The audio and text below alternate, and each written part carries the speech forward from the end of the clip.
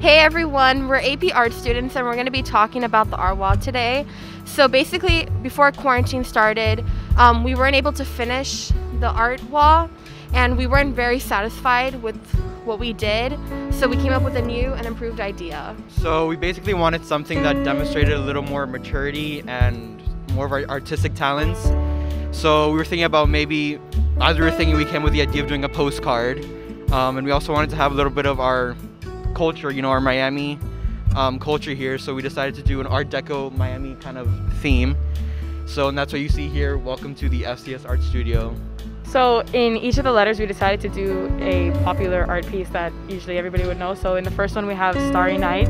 In the second one, we have a Picasso. In this third one, we have, it's not done yet, but it's going to be the creation of man. And here we have Britto, which kind of goes with the wall because he is from Miami and he's like a Miami-based artist. In this one, we have a Banksy. He's a graffiti artist. And then in the last one, we have a Salvador Dali melting clocks art piece. So I think we just really like this wall a lot better because it really displays our talents more and it's more mature like Tommy said and all that stuff.